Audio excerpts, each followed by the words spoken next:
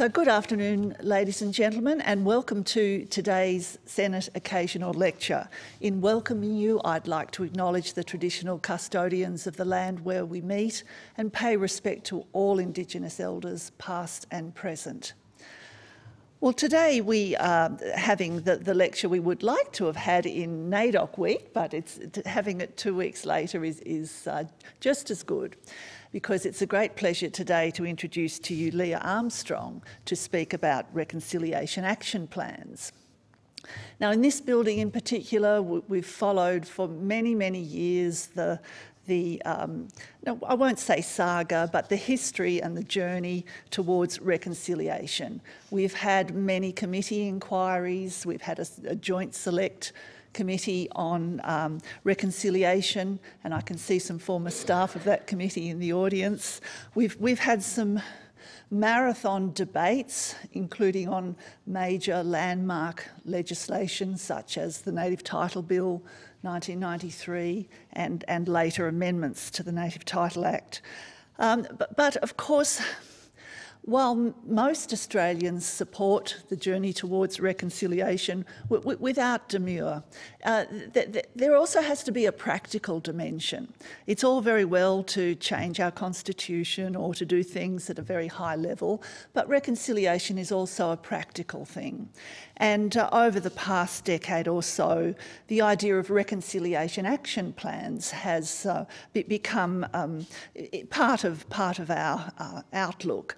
And uh, two weeks ago today, the Parliamentary Departments launched our second Reconciliation Action Plan, which for those of you who are interested, you can find it on our website.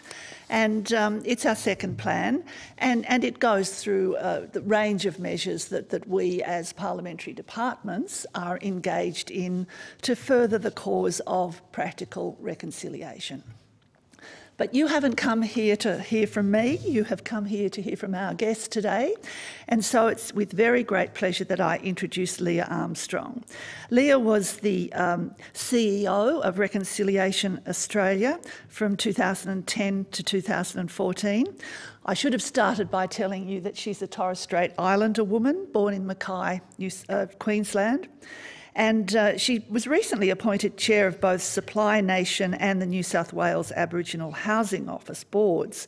She serves on a number of boards and other uh, governance bodies, including the Senate of the University of Sydney. So please join me in welcoming today Leah Armstrong to speak about reconciliation action plans, creating shared value.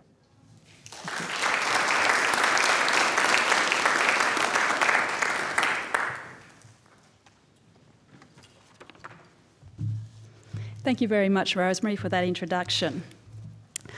Um, Kapubutang, greetings to you all today in the language of my ancestors from the island of Boigu in the Torres Strait.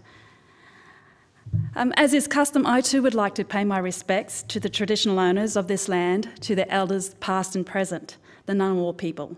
And in doing so, I acknowledge their continuing contribution and connection to this land. The acknowledgement of the traditional owners of this land is an essential part of the changes that we have seen in contemporary Australia as part of our national efforts towards reconciliation. And in the spirit of reconciliation, I would like to acknowledge the non Indigenous visitors here today. It is a pleasure to be with you, and I would like to thank Rosemary and the Senate office for extending the invitation to speak. The context of my speech draws on my experience as a pragmatic practitioner with more than 25 years' involvement in the reconciliation movement. At a local level, from the early 90s in Newcastle, with the group called Yarnteen Aboriginal and Torres Strait Islander Corporation, who was engaged by the Council for Aboriginal Reconciliation to conduct community engagement and reconciliation education programs. Yarnteen's vision was to become economically independent and become full free agents in our own development. A key foundation of our success was the building of respectful relationships between non Indigenous Australians and the Aboriginal and Torres Strait Islander community.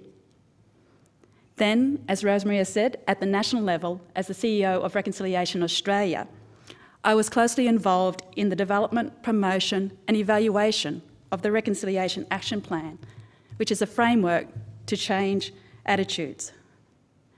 The program grew quite significantly during this period from 150 RAPs to over 500 RAPs. Today, reconciliation is being talked about a lot around the community. But reconciliation can mean different things to different people. It can be a very frustrating process, and many have walked away from it in the search of simple solutions or a silver bullet that can promise an end to disparity and suffering. At its core, reconciliation is about building respectful relationships between Aboriginal and Torres Strait Islander people and other Australians to enable us to work together to close the gaps and to, share sh and to create a shared sense of fairness and justice.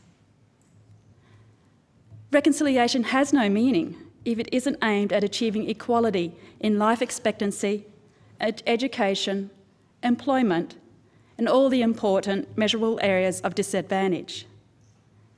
It has no meaning while some of us continue to experience racism and don't receive the same treatment before the law as the majority of Australians.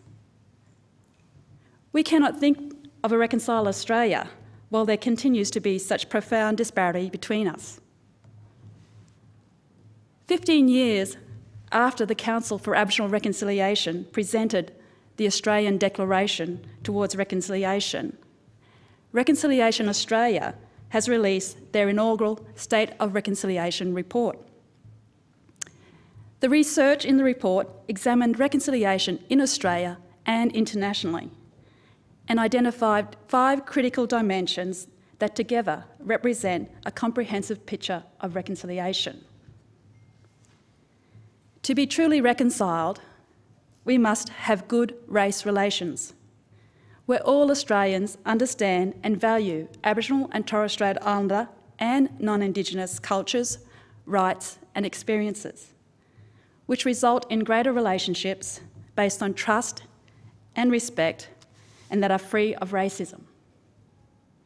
There must be equality and equity for Aboriginal and Torres Strait Islander peoples to participate equally in a range of life opportunities and the unique rights of Aboriginal and Torres Strait Islander peoples are recognised and upheld. Australian political, business, and community institutions must actively support reconciliation. We have a united Australian society that values and recognises Aboriginal and Torres Strait Islander cultures and heritage as a proud part of our shared identity. And finally, there must be historical acceptances by all Australians who understand and accept the wrongs of the past and the impact of these wrongs. Australia makes amends for the wrongs of the past and ensures that these wrongs are never repeated. The report states clearly that reconciliation is no longer seen as a simple issue or a single agenda. The concept of reconciliation has taken a holistic approach that encompasses rights as well as so called symbolic and practical approaches.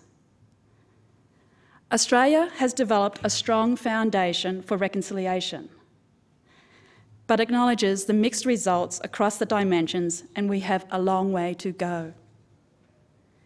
It highlights that 86% of Australians believe the relationship between Aboriginal and Torres Strait Islander people and other Australians is important.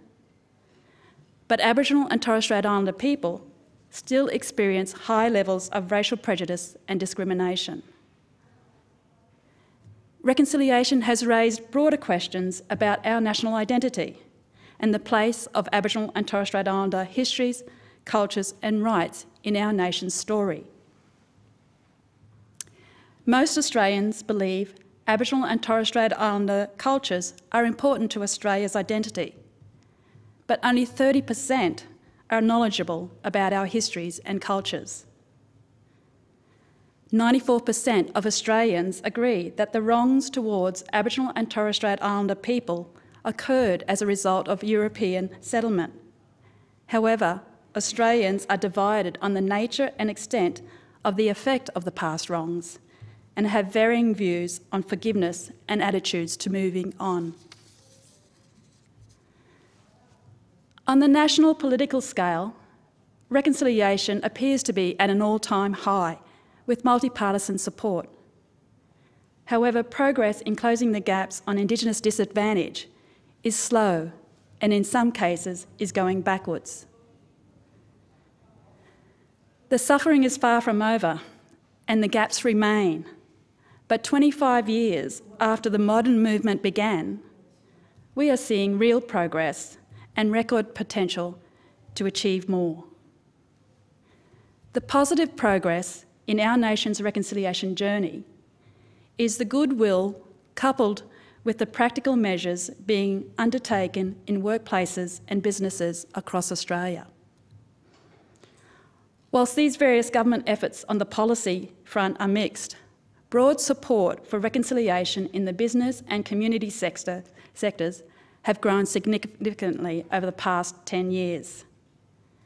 Today, there are 650 business and community organisations with reconciliation action plans, and a further 600 schools and early childhood learning centres are involved in the RAP program. These businesses and schools are creating environments that foster a high level of knowledge and pride in Aboriginal and Torres Strait Islander histories, cultures, and contributions to increase respect, reduce prejudice, and strengthen relationships between the wider Australian community and Aboriginal and Torres Strait Islander peoples. Reconciliation action plans were set up to mark the 40th anniversary of the 1967 referendum and began with eight organisations. Yarnteen was the only Indigenous organisation among these trailblazers, which included groups like the ANZ Bank, BHP Billiton, and Oxfam. Now, over a thousand organisations are involved in the RAP program, which covers about 20% of the national workforce and is growing by the day. The RAP program is one of the largest of its kind in Australia and possibly the world. Reconciliation Australia gathers data from the RAP community annually, and there is strong evidence that RAPs are making a significant contribution to closing the gaps in disparity in education, employment, and health. The 2015 data indicates that RAP organisations employ over 35,000 Aboriginal and Torres Strait Islander people. They have provided cultural awareness training to 262,000 employees. They've provided more than $77 million for educational scholarships. And they've provided 100 million in pro bono support to Aboriginal and Torres Strait Islander communities.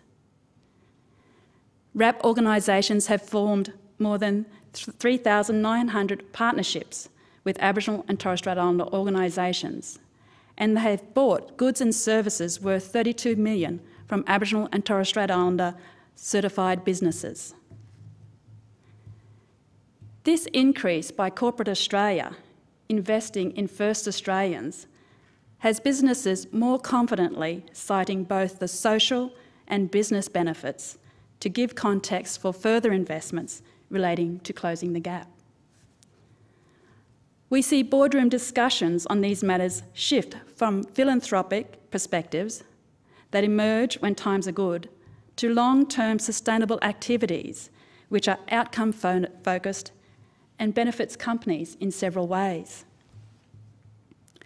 And as Aboriginal and Torres Strait Islander organisations accumulate greater assets and more Indigenous students graduate from university, and the demand for labour at the local, region, and remote areas increases, as well as government policies that strengthen procurement with Aboriginal and Torres Strait Islander businesses and increased employment targets, the Australian corporate sector is looking to strategies that deliver shared value. If you, for many, maybe the concept of shared value is new, and it is defined, has been defined by Professor Michael Porter and Mark Kramer from Harvard in that it involves creating economic value in a way that also creates value for society by addressing its needs and challenges. Shared value is not social responsibility or philanthropy, but a new way to achieve economic success. It is not on the margins of what companies do, but at the centre.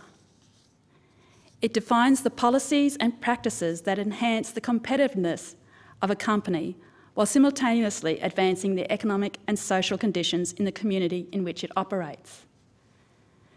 Porter and Kramer identified three ways in which shared value can be created. Firstly, reconceiving products and markets, defining markets in terms of unmet needs or social ills, and developing profitable products and services that remedy these conditions. Redefining productivity in the value chain, increasing the productivity of the company or its suppliers by addressing the social and environmental constraints in, that, in its value chain. And local cluster development, strengthening the competitive context in key regions where the company operates in ways that contribute to the growth and productivity. Creating shared value goes beyond corporate social responsibility in guiding the investments of companies in their communities. Corporate social responsibility focuses mostly on reputation and have only a limited connection to the business, making them hard to justify and maintain over the long run. Creating shared value is integral to a company's profitability and competitive position. It has a profit imperative. It leverages the unique resources and expertise of the company to create economic value by creating social value. Share value creation is about being good, not just looking good. The Reconciliation Action Plan program provides a framework and plan for companies to articulate their shared value strategy.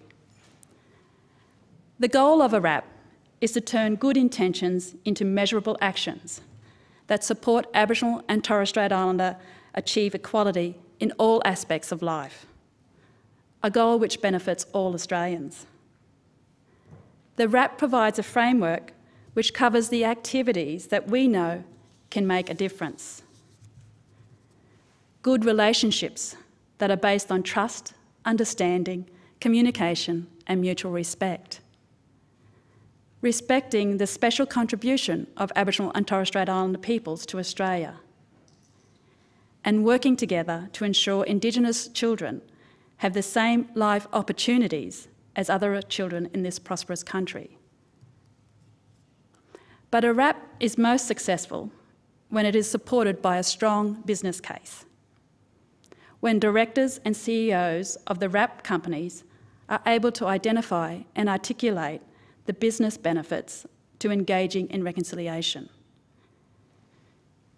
Similar to shared value, there are four key areas which underpin the business case. Access to new and improved market share and employing a workforce that is representative of the community. Organisations that are developing new markets and better penetrating existing markets by more fully, fully meeting the needs of the fastest growing population of Australia, the Indigenous population, helps to develop trust and better engages Indigenous customers. The National Bank of Australia is a great example. NAB launched its Reconciliation Action Plan in 2008 and have made significant investments and commitments in promoting financial inclusion by, by providing greater access to financial products and services, providing access to opportunities that lead to real jobs and meaningful careers in banking, and building partnerships that enable Indigenous businesses to grow and prosper. By investing in these areas, NAB recognises that greater financial inclusion, increased personal and household income and the growing Indigenous business and organisational wealth will lead to greater interaction with the financial services and position NAB as a banker of choice for Indigenous Australians. Workforce efficiency is a key business imperative. Attracting, motivating, and developing talented local staff connected to local communities is efficient and effective. This overcomes costs and challenges associated with recruiting, transporting, and accommodating staff from other locations, and the higher turnover rate of these positions. As a part of their commitment to increasing the participation of Indigenous peoples in their businesses, Broad Spectrum, formerly known as Transfield, launched their first RAP in 2009. They have learnt the value of community engagement and the impact of meaningful employment at the community and local level. By supporting local people, Broad Spectrum has generated a positive reputation among the community it works. Their business model is based on long term relationships, a value it takes to any community they engage with. As a business, a local workforce has clear financial benefits, but in addition, they are supporting the social footprint of the community. Staff recruitment, engagement, and satisfaction. Generation Y clearly have a greater connection to social and corporate responsibility and make this a day to day part of their lives. Graduates are increasingly aware of and in interested in social responsibility of their employers and want the opportunity to play a meaningful role through their work workplaces. Maintaining staff well-being and satisfaction by providing opportunities to engage with community projects is a key workforce attraction.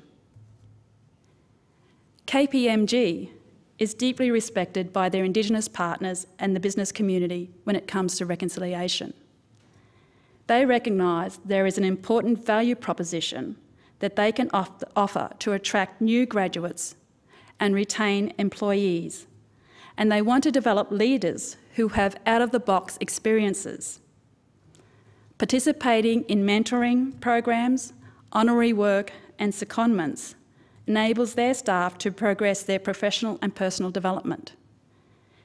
KPMG supports leadership potential, skills transfer, performance, confidence, and maturity, which aligns strongly with their global values and behaviours. And finally, improving supply chain diversity. Purchasing choices are and increasingly will be influenced by the organisation's reputation and community orientation. Indigenous procurement is a key action in reconciliation action plans. The Australian Tax Office realised a number of years ago that it could leverage its purchasing power to create positive social impact for Indigenous business owners and the communities. The concept to them was clear. By purchasing from Indigenous businesses, the ATO can grow the personal wealth of Indigenous owners and employees, can build capacity and stoke innovation in their supply chain. Since 2014, the ATO has progressively developed its supply diversity strategy, and in 2016 have procured over $26 million in goods and services from Aboriginal and Torres Strait Islander businesses. RAPs are also offering Aboriginal and Torres Strait Islander organisations and people new ways of understanding and engaging with reconciliation as advisors, as co-mentors, training providers and enterprise partners, as well as benefiting from greater numbers of more carefully considered employment and professional development opportunities. The State of Reconciliation report highlights that businesses are not just creating employment opportunities for Aboriginal and Torres Strait Islander workers and shared value to their companies. They are creating a cultural change through the awareness raising and leadership. They are leading changes in attitudes, remoulding the culture in the thousands of workplaces and increasing the understanding of Aboriginal and Torres Strait Islander history and culture. They are actively breaking down racist stereotypes and helping to shape or create workplaces which are supportive and encouraging Aboriginal and Torres Strait Islander employees. Reconciliation Australia's survey of employees in RAP organisations found that compared to the general community, Aboriginal and Torres Strait Islander workers and other employees in RAP organisations have much higher levels of trust between each other. They are far less prejudiced towards each other and have greater pride in Aboriginal and Torres Strait Islander cultures. But as we have experienced in the past two years, the general community's outcry to the Indigenous War Dance Gold celebration by Indigenous role model and leader Adam Goodes, an Australian of the Year and most decorated AFL player, and the lecture guide produced by the University of New South Wales to replace the words settlement to invasion. We have a long way to go in changing attitudes and building a nation that respects Indigenous cultures and accepts our history. So, how can governments create shared value? Porter and Kramer suggest that governments and not for profit organisations would also be able to leverage the power of market based competition in addressing social problems. Shared value offers a strategic opportunity to form exciting and innovative multi stakeholder partnerships between government, business, and civil society that are effective, efficient, and impactful. They found that government can play five key roles in accelerating the adop adoption and implementation of shared value. First, acting as a knowledge broker, investing in social research analysing best practices for solving problems, and strengthening technical research that complements companies and community efforts. Convening key players, a valuable first step for government in encouraging the identification and development of shared value opportunities is to convene key players together. They can serve as an operating partner partnering with companies in the implementation of shared value strategies by adjusting existing programs and coordinating different programs of government. Changing the risk reward profile. Where investment risks may appear too uncertain for companies, government can consider different tools like loans, tax breaks, and subsidies to improve the risk reward profile and creating supporting regulatory environment. A more nuanced regulation may be necessary so as not to limit potential of shared value creation. Social Ventures Australia also suggests government needs to recognise that there are multiple opportunities to encourage companies to address social issues ranging from employment to affordable housing across all sectors and industries. This requires policies that help shape a more conducive environment for change to be sustainable and scalable. This, I believe, has been demonstrated through the Indigenous procurement policy. Governments themselves are huge purchasers of services, and by building a shared value component into their requirements, they can encourage companies to move this way the federal government launched the revised Indigenous procurement policy in July 2015. The primary purpose of the policy is to stimulate Indigenous entrepreneurship and business development, providing Indigenous Australians with more opportunities to participate in the economy. The IPP allows Commonwealth buyers to purchase directly from Indigenous small to medium enterprises for contracts of any size and value using the Indigenous business exemption. This provides Indigenous businesses with a big advantage. They do not need to complete costly tender processes. But Indigenous businesses must still demonstrate value for money. But this can be done with, through simpler processes. The policy has three key components. A 3% target by 2020 for purchasing from Indigenous enterprises. A mandatory set aside to direct some Commonwealth contracts to Indigenous enterprises and a minimum Indigenous participation requirement for certain Commonwealth contracts. Since beginning in July 2015, Commonwealth agencies in 11 months have exceeded their target of 0.05% and awarded 993 contracts to 282 Indigenous businesses with a total value of more than $195 million. This is more than 31 times the value of Commonwealth procurement with Indigenous businesses in 2013, was, which was just at $6.2 million.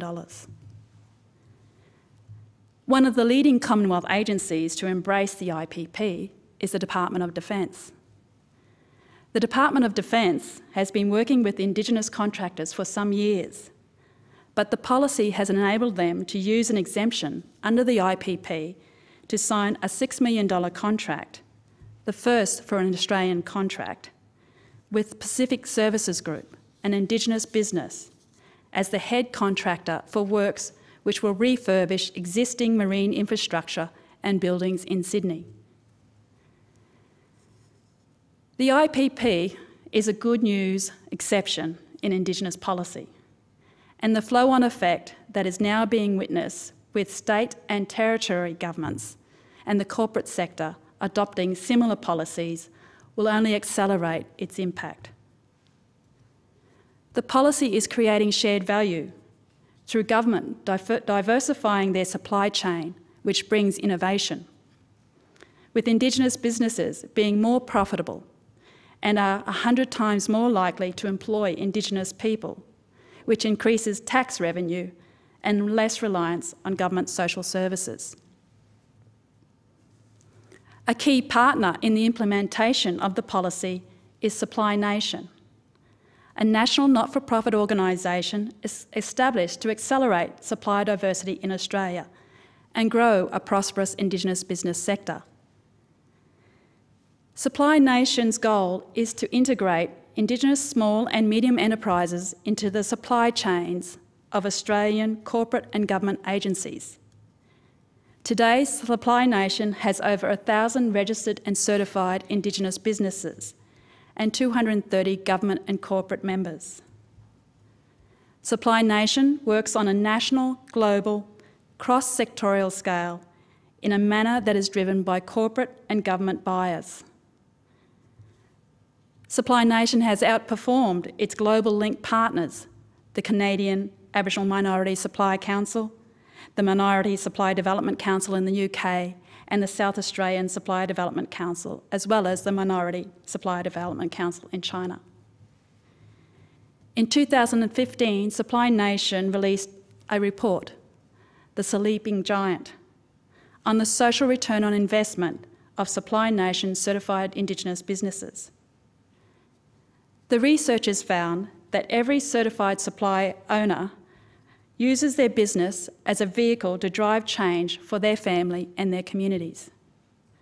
Owners and employees of these certified supply businesses spoke of their increased confidence, autonomy, and aspirations.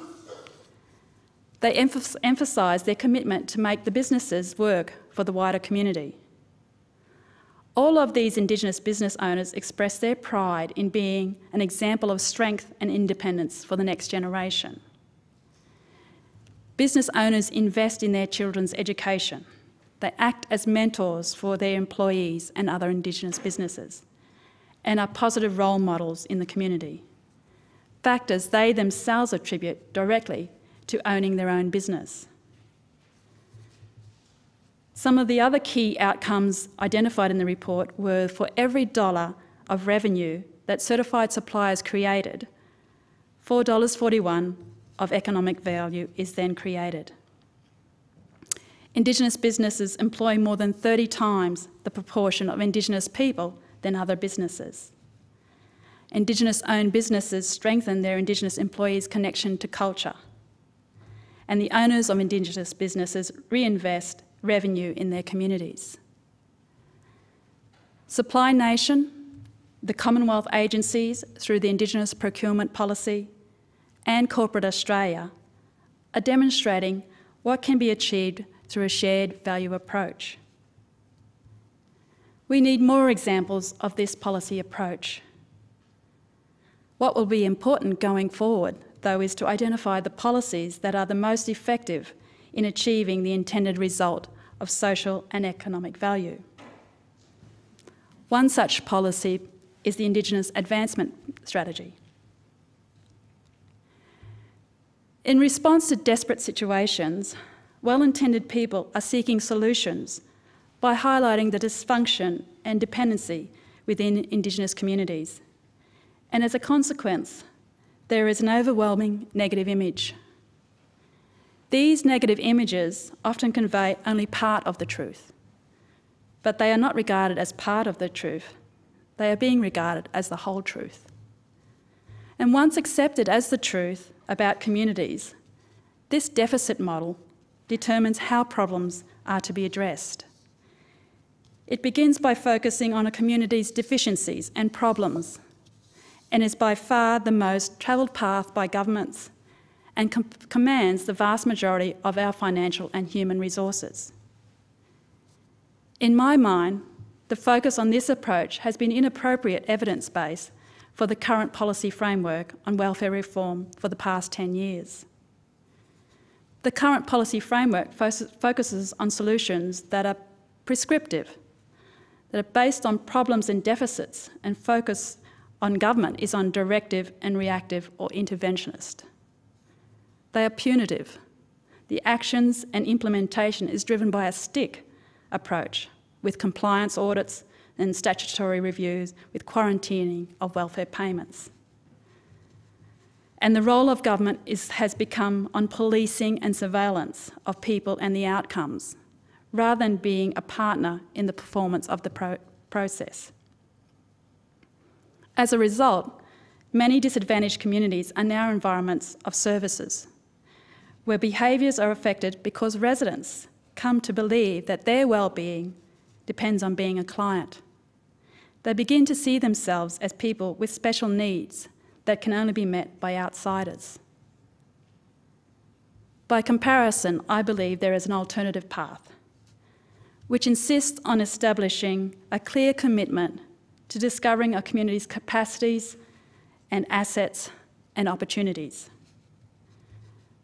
That is to locate all the available local assets, to begin connecting them with one another in ways that multiply their power and effectiveness and to begin harnessing local institutions and decision-making authority for local development purposes. This requires governments to adopt a role, adopt a role that looks for opportunities to harness the creativity, perseverance and resources of the community and the private sector to create shared value. This approach is recognised by the Department of Foreign Affairs and Trade in the policy approach it is adopting and engaging the private sector in foreign aid and development. DFAT's recent ministerial statement, Creating Shared Value Through Partnership, demonstrates its intention to fulfil this role. DFAT intends to amplify the impact of Australia's aid program through moving away from aid grants to leveraging the assets, connections creativity and expertise of the private sector in such a way that it generates business returns. The program aims to solve complex development problems across a number of priorities, including agriculture, fisheries, and water, building resilience and building effective governance across education and health, and gender equality issues. DFAT's value proposition is to offer corporate and community businesses the ability to convene, broker and influence. DFAT have considerable networks and credibility to assist businesses. They have deep knowledge of the business, political and regulatory environment in the developing countries. They support in creating a more attractive business operating environment by policy reform and their investments are specifically related to improving investment environment in the countries they work. And they have the capability to provide catalytic funding to encourage and support businesses.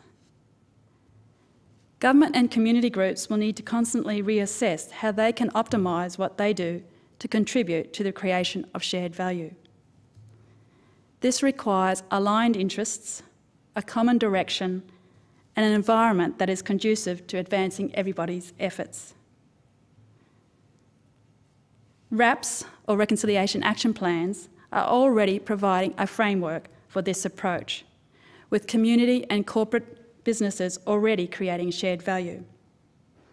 There are already 20 companies that have achieved the highest Elevate RAP status, which is awarded by Reconciliation Australia when companies demonstrate significant investment and thought leadership.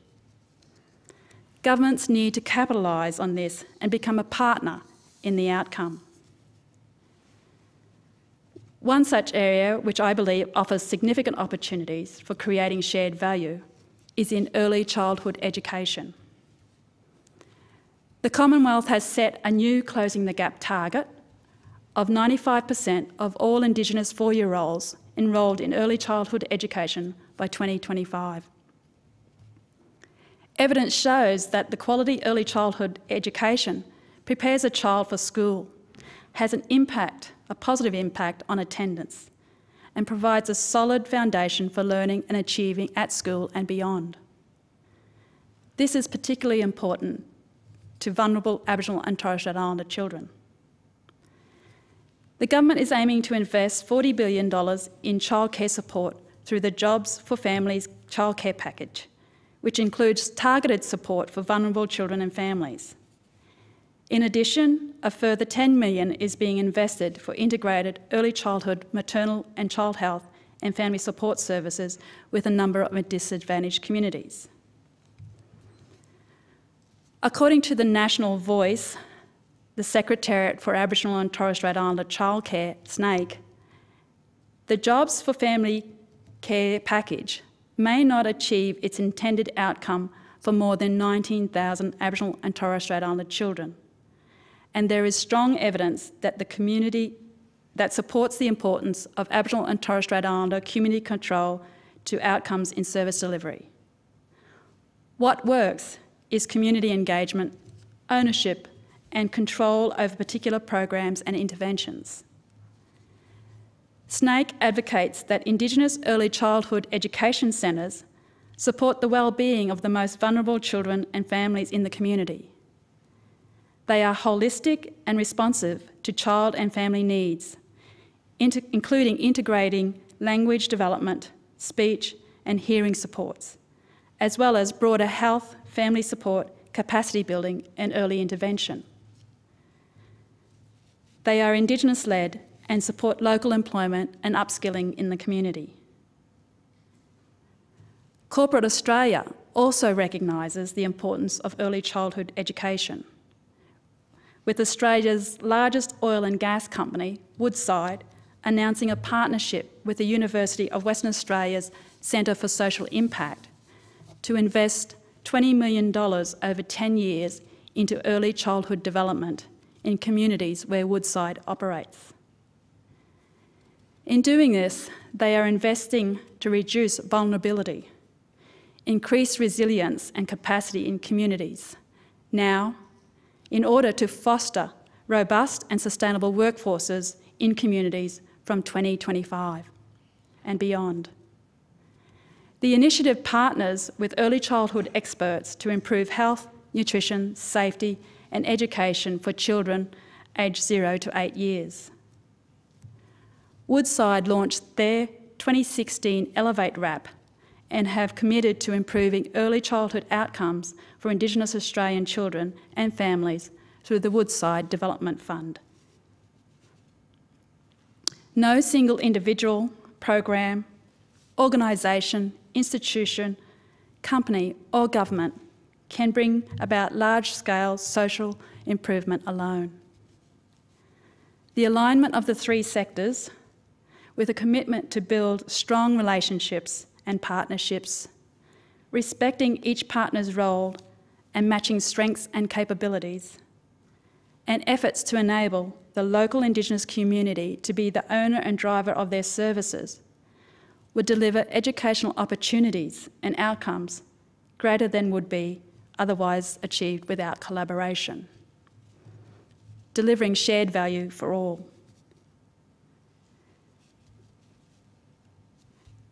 Reconciliation can seem a big process. And many Australians don't know how to take action. But it is the small, everyday acts which all Australians can get involved. It can involve actions by individuals, such as att attending an Indigenous cultural event, acknowledging the traditional owners, standing up against racism, reading a book by an Indigenous author, or it can involve actions by businesses to purchase products from Indigenous owned businesses or employ Indigenous people. When reconciliation becomes a natural process, which is not spoken about, but is displayed daily within every action between individuals and groups, then we can achieve greater equality. When we work together, shoulder to shoulder, we bring a greater understanding of each other. When I reflect on what reconciliation is for me, it is more than a process or a movement. It's a philosophy. It is about, it's about accepting difference, cultural differences, differences in experiences, and viewpoints and opinions. It's about building respectful relationships and working towards a just society for all. It is essential nation building effort. It encourages us all to be better selves. Thank you.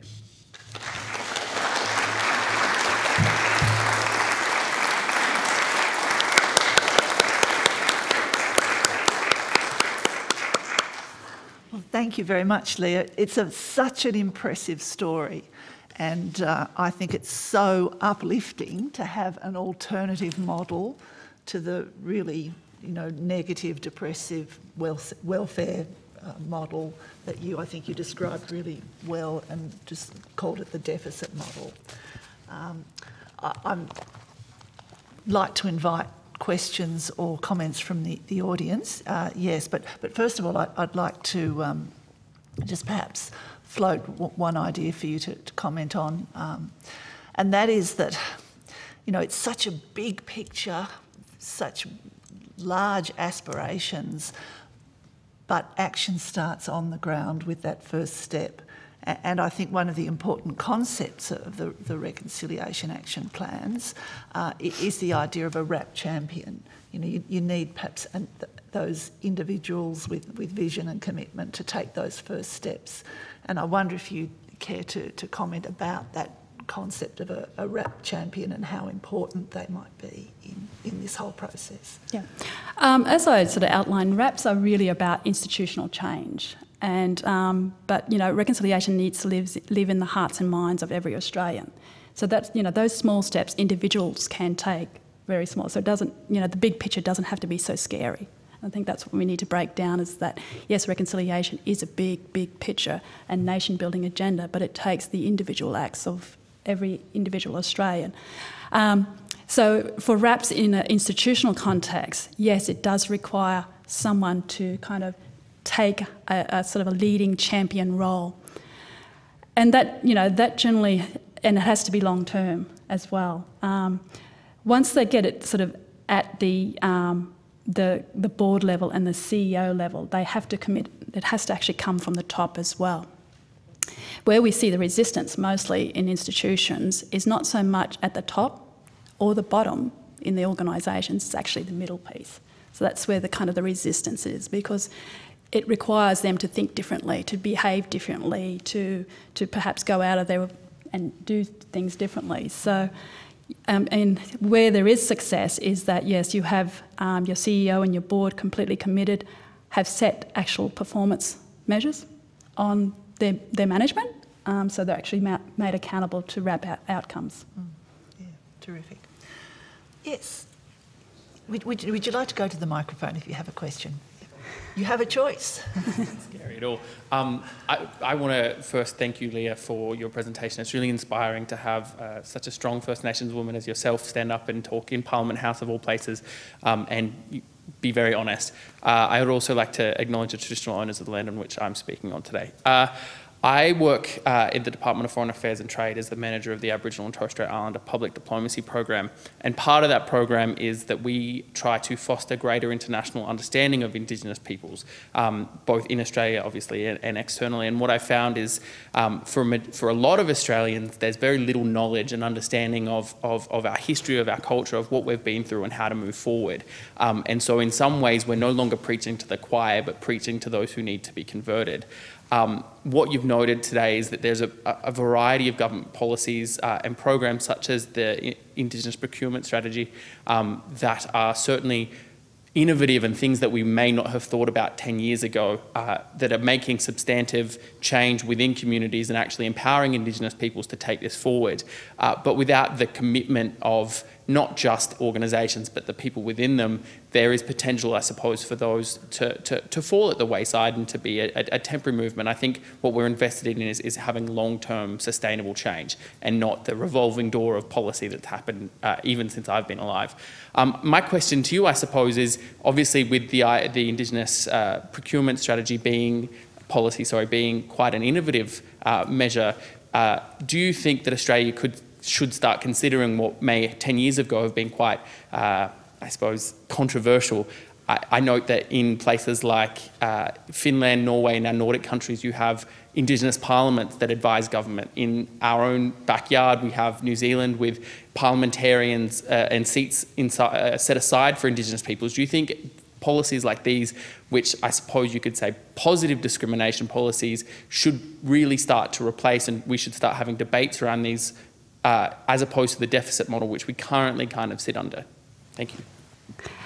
Um, yeah, look, I mean, I think address your question is that the affirmative action, or if you look at the Indigenous or supply diversity movement in the US, which we've actually adopted the IPP from, is an affirmative action policy which is actually legislated in the US to improve African American, Native American, Hispanics in, as minorities in the US. And it's a policy that's been there for over 40 years.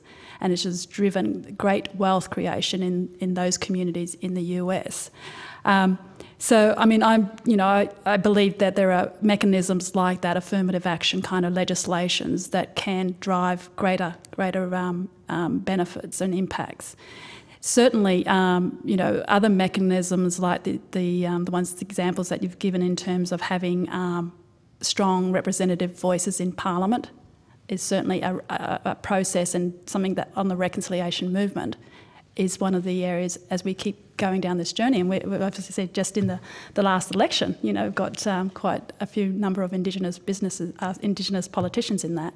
So, I mean, it's more that we can progress down getting more voices in Parliament and also having mechanisms outside of Parliament where we can have the Indigenous voice being strongly um, promoted. I think is, is another mechanism. Yes, a question behind you. Um, I'm a teacher originally, so I'm not involved in all the um, policy and administration side of the universe.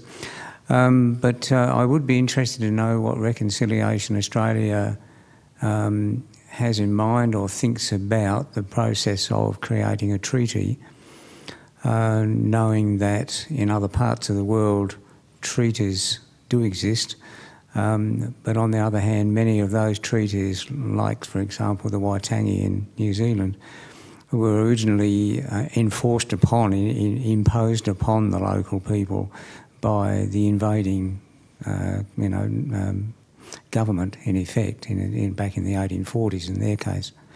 So the situation in Australia now is very different. If um, if Arthur Phillip had tried to you know, have a treaty in 1788, uh, at best he would have only ever had it with the Eora people of the Sydney region, and it's much more complicated than that, and there's the 200 years history in the middle. So is there a process now that we can uh, find that might create a genuine, genuine treaty uh, between people who were here for so many tens of thousands of years before the rest of people like me turned up. Um, is there a way that Reconciliation Australia can see the establishment of a treaty?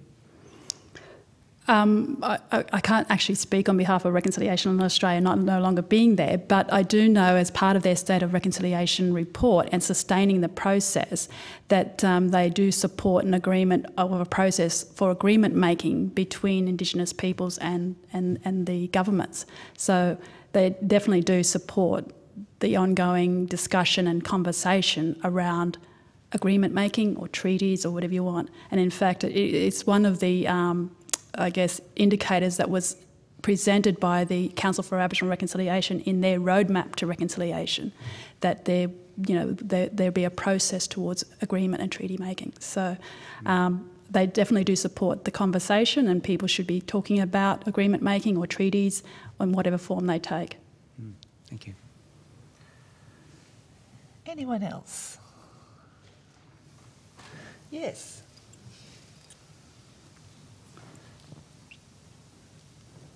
Hi, thank you so much for coming, Yawa, I should say. I was in Boigu last year, so oh. very close to my heart. Um, my name's Jackie. I work at the Department of Human Services, more commonly known as Centrelink. Um, so we are, I guess, in a way, the facilitators of the traditional welfare model. Um, I work in the reconciliation space, and um, you're bang on correct. You know, we have our very high level executives on board, and then we have this ground layer of people who are on board, and it is that middle layer that we really struggle with to facilitate reconciliation in, particularly in the management relationships we find. Um, we have a staffing level of approximately 35,000, so it's a lot, and the majority of our staff are out in the zone. So they're not Canberra based, they are out servicing customers, mm. government services, and um, I guess for me, my question is how do we do a better job of making reconciliation action plans less corporate because it is a corporate plan for us, and I think that's probably one of the major triggers for people just to be like, no, it's from Canberra, it's corporate. How do we make it more accessible on the ground? Thank you. Yeah. It is a common um, issue that um, where you have the head office, obviously in the major cities, who develop the corporate plan uh, and have the actions, but there is very little awareness and understanding out in the region. So it's not just government agencies, it happens with major corporations as well. I guess the, the successful ones have actually been um, able to kind of uh, break down the RAPs in a sense in terms of and then giving responsibilities out in those regions for certain actions and for that that match that particular region rather than saying okay the corporate sees it from the top as a holistic but actually in your region or where you live and work how can you make these uh, actions come to life and sort of giving direction and responsibility out to those people in the regions. One last question? Yes. Thank you. Thank you very much. It was a very interesting talk. And that really leads on to my question, which is that, you know, how many of us are here to hear your talk? Um, and I think there really just isn't enough publicity at a very general level about the successes you're having. We've just constantly bam, hear of the negative, negative things, and it just seems to me that there is a, a place for more um, discussion on success and, well, in some places, lack of success in the general sort of community. There, is there some effort being made in that respect? Look, I mean, reconciliation has Australia, you know, their, their foundation of what they try to do is promote the positive. To, to, to getting people engaged and, and and yes, whilst you know we they they don't want to sort of um, sugarcoat the bad and, and the areas that need support. But as I said, you know, there is some amazing stuff happening out there. The entrepreneurship that's coming through Indigenous um, people, the numbers of um, graduates out of university, you know, lawyers, doctors, um, you know, they're, they're, they're, and in fact, there's a group called Career Trackers, which provides internships for Indigenous um, students. Um, is, is signing up 10 year agreements with Corporate Australia to take hundreds of Indigenous um, university students on because they see that the talent that's coming out of these universities and that Indigenous uh, university students are bringing different perspectives. So, um, and then you've got, you know, other programs in, in um, schools. So it is a difficult thing to get out through uh, I guess, the, the noise of mainstream media, where, you know, it is all about sort of, you know, highlighting perhaps, you know, the, the deficit side and the problems. Um, social media is probably the best approach that we that Reconciliation has, uh, Australia has taken to try and get in good news stories. Um, they run a program also called the Indigenous Governance Awards, which has been running for oh, probably close to six years, and BHP Billiton funds that, which highlights good governance in Indigenous organisations and how these organisations, against a backdrop of changing government policy, changing programs, um, actually governing quite well. Um, and incorporating Indigenous um, cultural perspectives in the way they deliver service delivery, um, but you never get to hear or see those things, and um, and they're doing amazing stuff it's an ongoing challenge. It's one that you know we constantly try to highlight the success rather than just continue focusing on the deficit. Thank you, Leah.